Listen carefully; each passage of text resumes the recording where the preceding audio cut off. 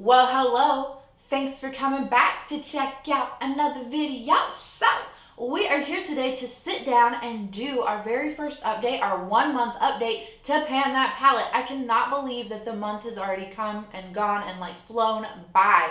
So I'm going to try to get through this just a little bit quickly because we do have a thunderstorm quickly approaching us and I have my ring light on and everything. It looks decent in the viewfinder, but it is like a little bit dark in here and so I just want to, you know, get this wrapped up quickly.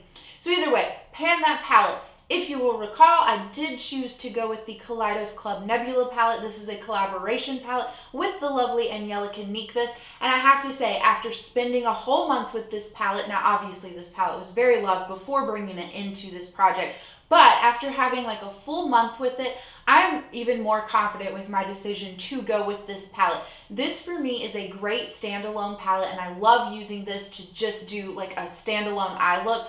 But this palette has also been really nice as just a companion palette. And that was something that was really important to me was to have a palette that not only works well on its own, but is something that I can at least pull one shadow from each time I sit down to do my makeup. So having experienced all that and been able to accomplish things and use every shadow at least one time during this first month, I am just, you know, super excited to continue forward with this palette and I have no regrets.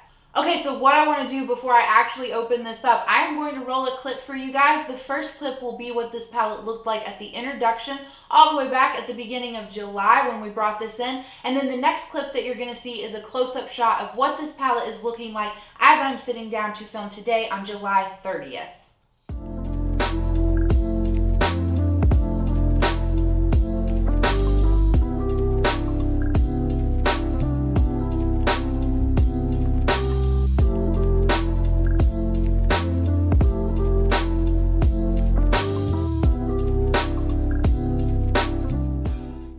Okay, so I am super excited with all of the progress that I was able to make with just one month with my palette. I do want to say my only goal that I had for this first month was to at least try to use every shadow from within this palette one time, and I was able to hit that goal. There were some shadows that got used more than one time, and then there were some shadows that only got used the one time, but overall I'm really happy, so I can safely tell you that every shadow in this palette has been touched within this year, which is kind of exciting.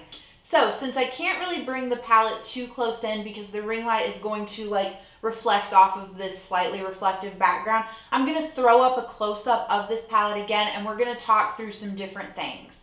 Okay, so the first shadow in here is the shade Firefly, which is just a really pretty green shimmery shade. Beautiful on its own, beautiful as a topper shade. I feel like the pan on this has expanded because if you'll recall, we did already have pan on this shadow at the introduction, but I managed to use this shade five times within the month. And like I said, I really do think that the pan on that has expanded. I have, I don't know if it like translates on camera for you guys, but the top of where that pan is, all of the product is cleared out of there as well. So we actually have top side pan, you could call it.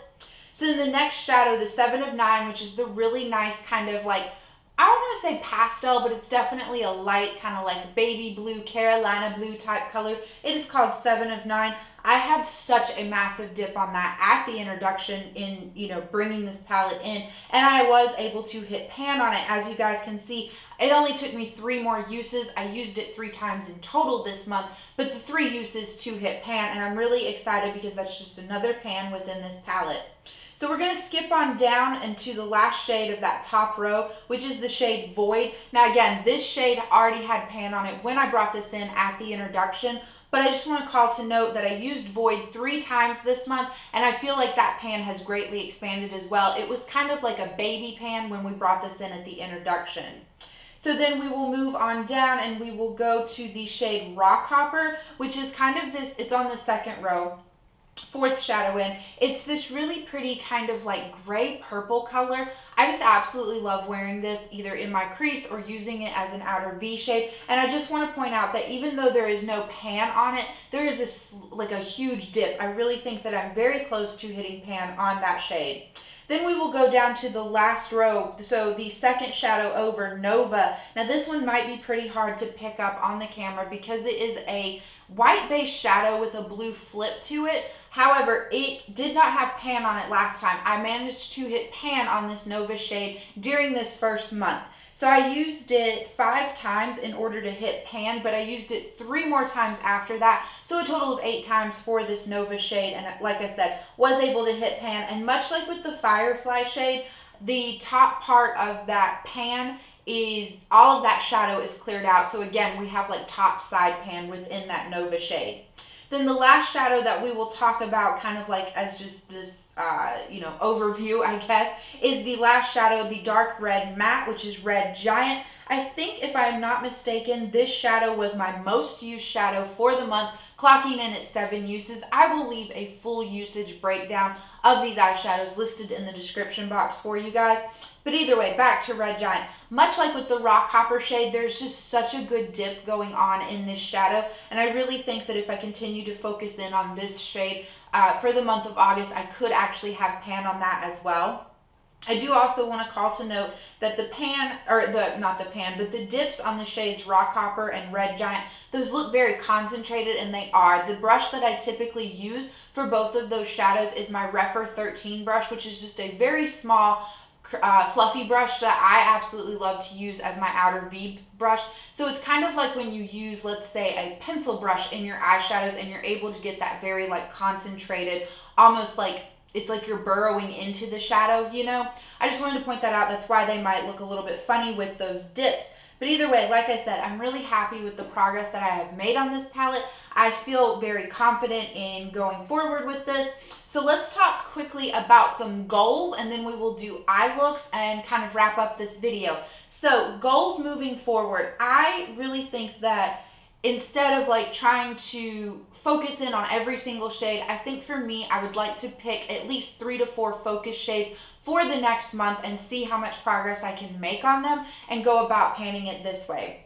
If you pan palettes and you find that a different strategy works best for you, let me know down in the comments below because I'm always curious to see. We always, like I feel like everyone uses makeup in such a different way and so sometimes you know, different techniques, different styles. It's just nice to like know it all and try it out. So either way, if you have a different approach, let me know.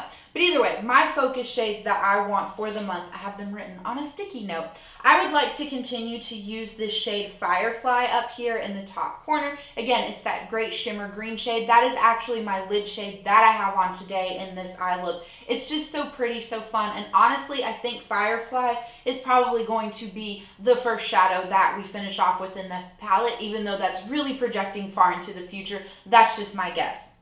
Okay, so another focus shade that I would like to focus on is this shade Gravity here. So it's just the kind of like light matte green shade. Again, I am wearing that shade in today's eye look as well. It's just a really pretty shade and I have to say it's one of the least used shades within this palette as we sit here today. I don't know if I'll be able to hit pan on it within a month, but I would like to try to focus in on it. So then also I would like to focus in on the dark purple shade down here, which is Cylon. It's a really pretty shade and I absolutely love using that in my outer V.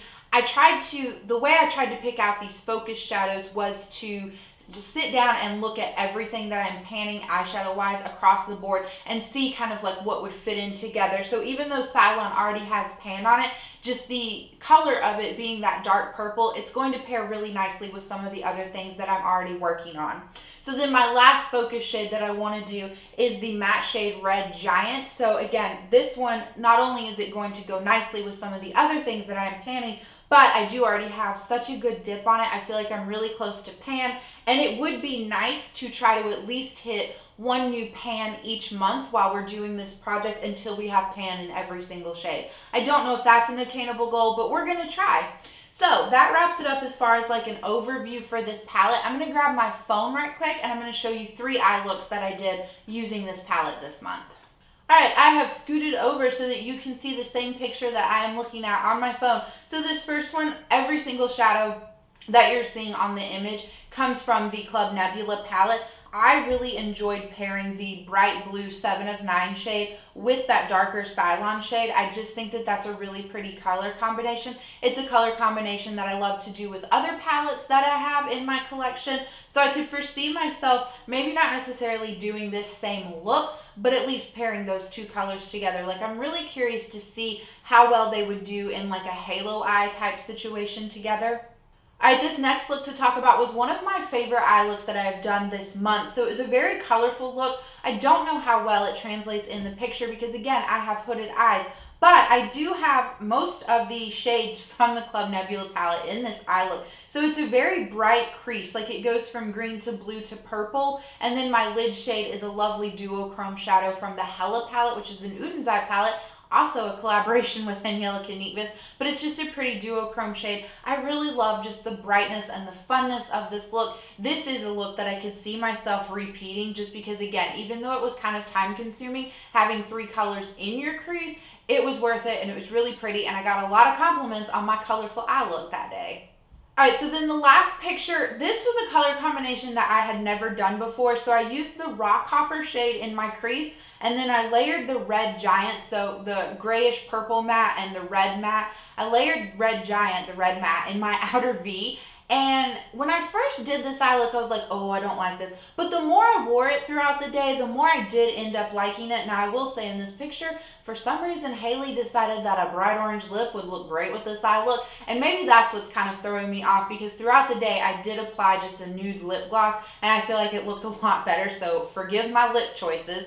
But either way, I was really happy to find this color combination because again, like I said, it's not two colors that I would have normally put together, but they blended in and faded really nicely together and almost kind of made this like gray, kind of lavender shade in between both of them. So this again is an eye look that I could see myself repeating, maybe trying out like a few different lid shades with it, but again, just really great like color combination.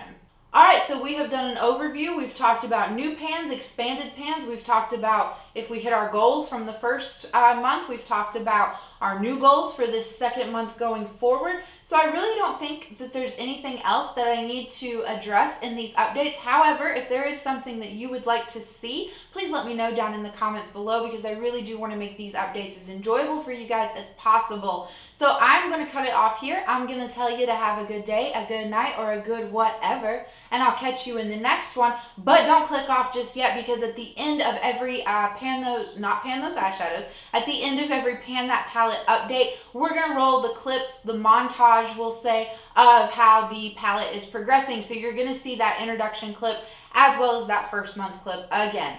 But now I will end it. So I hope you guys enjoy.